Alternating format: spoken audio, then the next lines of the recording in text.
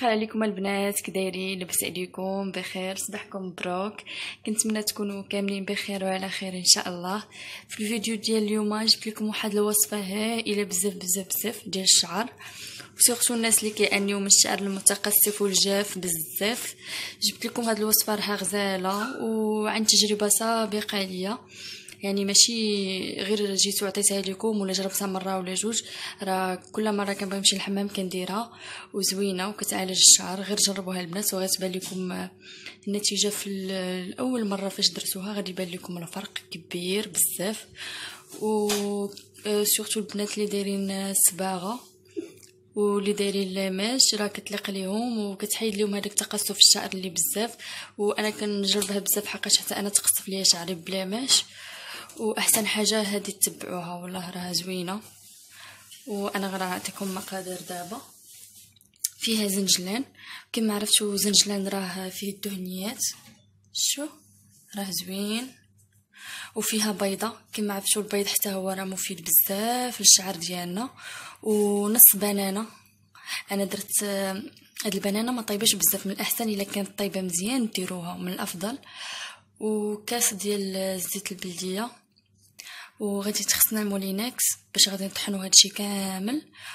وخليكم معايا أنا نوريكم الطريقة كيفاش.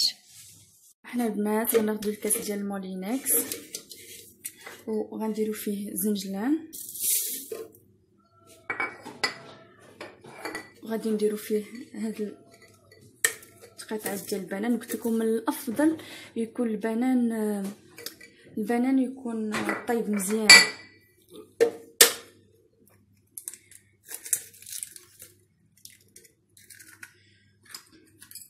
وكنديروا هاد الكاس ديال زيت البليه. وحتى البنات اللي جاكم شوية عاقد ماشي مشكل تزيدوا شوية ديال الزيت. وخليكم معايا أنا غادي نوريكم في الآخر الطريقة كيفاش.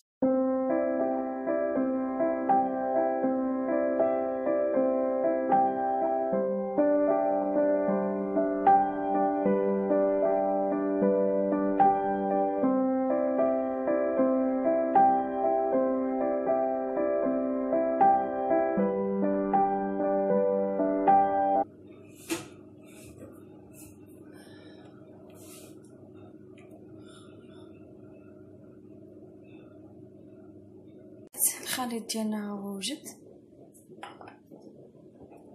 كنديروه على الشعر ناشف بطبيعة الحال قبل ما نغسلوه.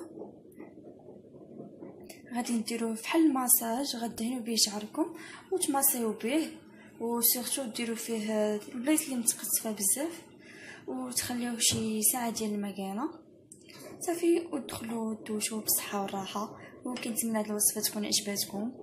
وغير جربوها راه ضمان على حسابي.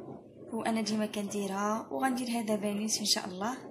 خليتكم على خير ولا عجبكم الفيديو البنات ما تنساوش تابوناو معايا في la chaîne وتخليوا لي j'aime و commentaire ومرحبا بكم عندي وخليتكم على خير بسلامة.